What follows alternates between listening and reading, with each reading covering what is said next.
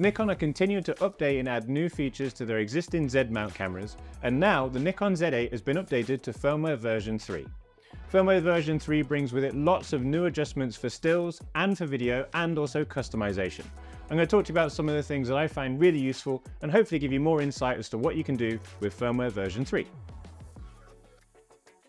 When it comes to the video dedicated adjustments, when the camera is in video, you'll still see the improvements to autofocus, where it'll give you the ability to use the subject detection option with manual focus lenses. But more specifically for video, View Assist now has new tonal characteristics, giving you a more even and consistent exposure when using View Assist and shooting N-Log. You'll now have a dedicated menu for the image quality when using high-speed frame capture. That means that you can change the image quality from JPEG normal to JPEG fine when making use of the dedicated continuous 15, 30, 60 or 120 frame rate options. You'll also find that you have a new continuous 15 frames per second option when making use of that high speed frame capture. This is a feature that I've been waiting for for a really long time, and it allows you to specifically limit where the camera can focus and where you don't want it to focus.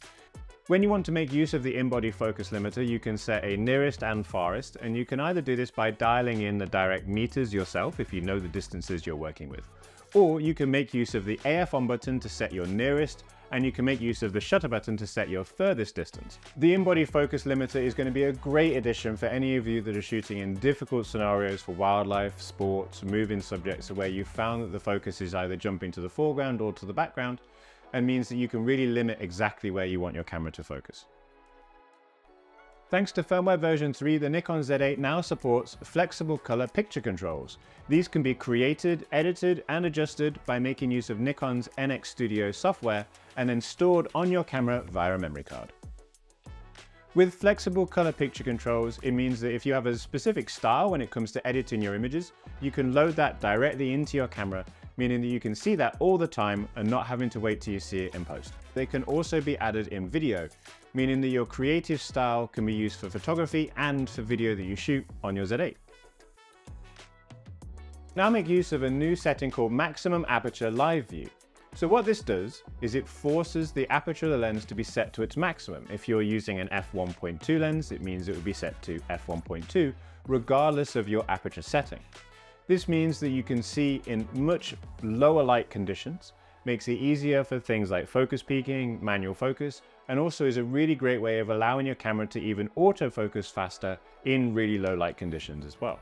However, this setting does not affect the aperture that you've selected. If you're shooting at f8, it will still stop down to f8 when you take the shot. It's just giving you that better performance during the live view by making sure that the view is vastly improved by adding way more light when your lens is set to its maximum aperture. There have been a couple of new additions when it comes to autofocus, bringing the Z8's autofocus system more in line with existing Nikon Z-mount cameras. Firstly, you can now make use of subject detection alongside your manual focus lenses. This means that you can use your manual focus lenses like you normally would, but also make use of subject detection to show you where the eye or the face of a subject is in front of you. Second, you now have new options when it comes to customizing wide area C1 and C2. You can go much closer to the edge of the frame, left to right, and also top to bottom, giving you the ability to really choose your designated area of your frame and making sure your camera is going to focus exactly where you want it to when you customize wide area C1 or C2. Pixel Shift has had some new additions, meaning that you'll be able to use Pixel Shift alongside auto exposure bracketing and focus shift shooting. This means that you can shoot a pixel shift image with different exposures, meaning that you can cover the whole high dynamic range of the scene in front of you, meaning you don't lose a highlight or a shadow.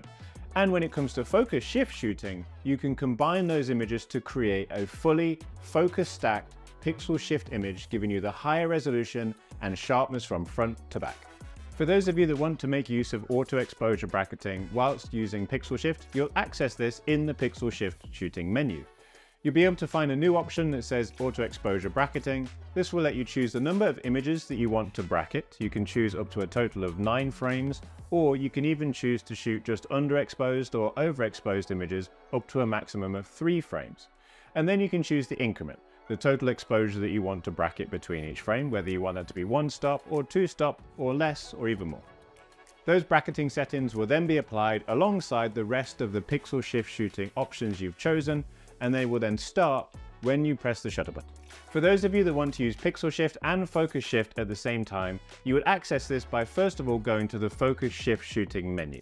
That will then bring up a new option that allows you to access the pixel shift options. You can then choose your pixel shift options alongside the focus shift shooting options. And once you press start, the camera then applies the pixel shift and the focus shift at the same time.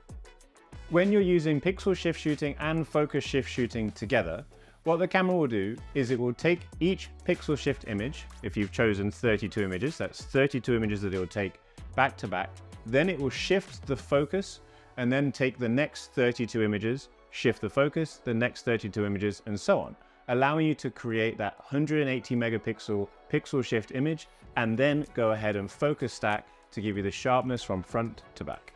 Using pixel shift and focus shift at the same time is going to produce quite a significant number of images, and that means it's not going to be for every photographer, but it is going to be incredibly useful for people who want to create high resolution, focus stacked landscape images, architectural images, or also using it for things like macro photography and product, where your resolution and your detail really matters.